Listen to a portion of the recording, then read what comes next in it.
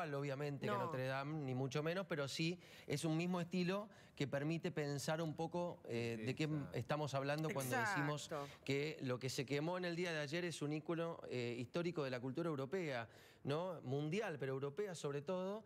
Eh, recién conversábamos con la arquitecta que vas a escuchar ahora también sobre lo que es la Sagrada Familia de Gaudí en Barcelona o la propia Sagrada Familia de, de Francia y otras tantas iglesias del mundo que tal como la de La Plata son un símbolo de la cultura y del turismo eh, y que nos permite mirar con grandeza lo que significa decir que de repente Ay, no, que no se corte. Ah, o existe a medias ahí- ahí a raíz de un eh, tremendo incendio. Eh, van a ver ahora imágenes que han hecho David y Oscar, eh, imágenes en vivo e imágenes grabadas. Estamos a 63 metros de altura. Más de esto no se puede subir. En este lugar donde habitualmente, como es patrimonio de la provincia de Buenos Aires, aquel que quiera venir a conocerlo lo puede hacer sin ningún problema. Puede subir hasta este lugar y admirar este lugar de la misma manera que otras tantas iglesias del mundo le permiten a los turistas. Me decía arquitecta que esta catedral se construyó en el año... 1884, la piedra fundacional, y luego eh, en el año 1932 se inaugura la primera eh, parte de la construcción de la, de la catedral. Ahora, estas torres donde estamos nosotros, ¿son de qué año? Porque la catedral no era así originalmente. La catedral fue concebida, el proyecto original con las torres, pero en 1999 se inauguran las torres de la catedral.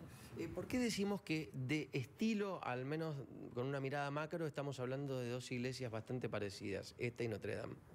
Eh, bueno, porque Notre Dame es un- una iglesia eh, gótica y eh, acá estamos eh, hablando de una iglesia neogótica. ¿Qué diferencia hay entre gótica y neogótica? Bueno, es un nuevo gótico, precisamente es en la época de- del historicismo donde aparecen los neo, neogóticos, neoclásicos, eh, neobarroco.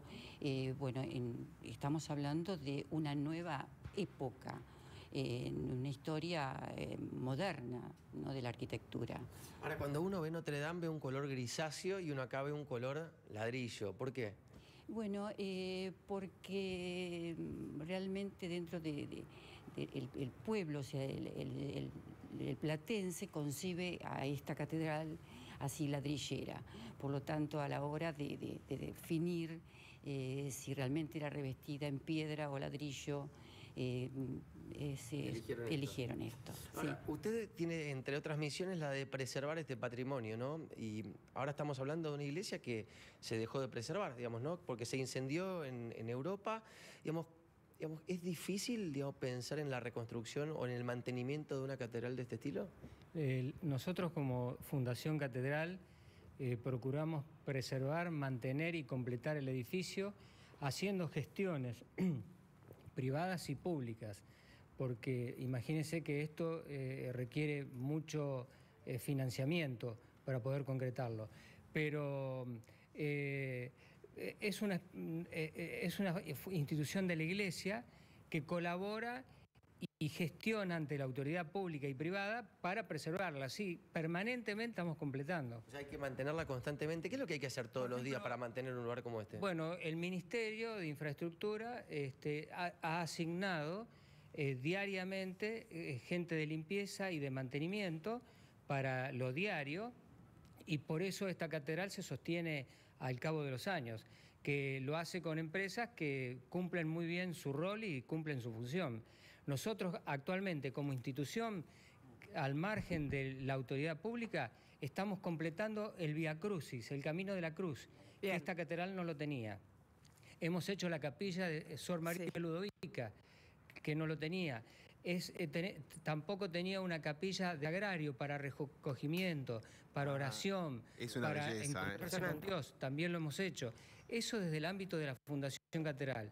El Ministerio se ocupa de las grandes obras y del mantenimiento diario, Claro. diario y, y de limpieza en, en el templo catedralicio. Arquitecto, Bien. sin ánimo de comparar ni mucho menos, no queremos caer en nada burdo ni mucho menos que eso, pero digo, lo que está mostrando en este momento David, que es, es- Sí. es la torre central, ¿no? Digamos, ahí, ¿ese sería el equivalente de la aguja de Notre Dame que se cayó ayer Mirá. a raíz del, in- del incendio? Sí, en realidad la Catedral de La Plata es de una iglesia de planta de cruz latina. Tiene Ah. una nave central Mirá. que mide apro- aproximadamente 90 metros de largo y después tiene un transepto, que sería el brazo que transversalmente lo- lo- la, la corta y forma una cruz. En el centro, donde se cruzan esas dos naves, se forma lo que se, se llama como crucero, que en este caso está coronado por una torre central. Esa torre podríamos decir que eh, no es más alta que las dos del frente, porque es un poquito más baja, pero desde lo simbólico es muy importante porque está en el corazón, en el Claro. centro de la catedral, y está en coincidencia con el altar. O sea que eso es lo que en Notre Dame cayó a raíz del incendio, para que la gente lo pueda comprender y hacer un paralelismo. Es eso, es muy importante. Sí, eso es lo que se cayó, en la, eh, al igual que la Catedral de la Plata, la de Notre Dame también tiene una, una torre central, eh, obviamente es mucho más delgada.